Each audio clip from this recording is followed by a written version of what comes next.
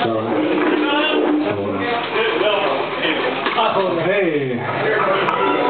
We've got one hinged called Tattoos and Cigarettes.